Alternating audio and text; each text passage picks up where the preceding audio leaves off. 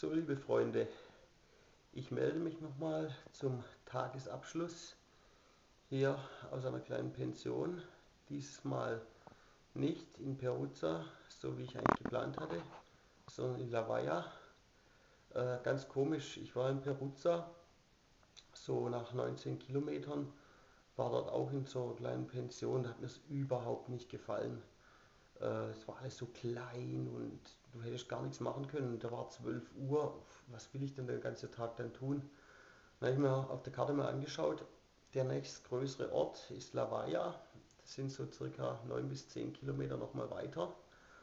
Und da habe ich mir gedacht, ach weißt du was, jetzt läufst du einfach weiter. Äh, das Knie tut zwar weh, aber naja, das tut morgen genauso wahrscheinlich weh. Und ich habe ja Zeit, auch wenn ich langsam gelaufen wäre, habe ich mir gedacht, kommst du so um drei wahrscheinlich an.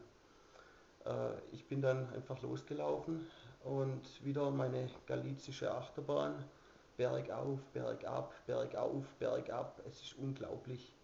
Also die machen wirklich die Zielpunkte immer auf den höchsten Berg. Wenn die Strecke mal geht, dann äh, nicht um den Berg rum, sondern immer oben über den Gipfel drüber. Das ist unglaublich.